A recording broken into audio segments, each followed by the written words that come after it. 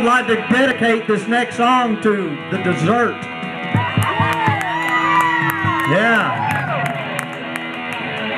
Yeah.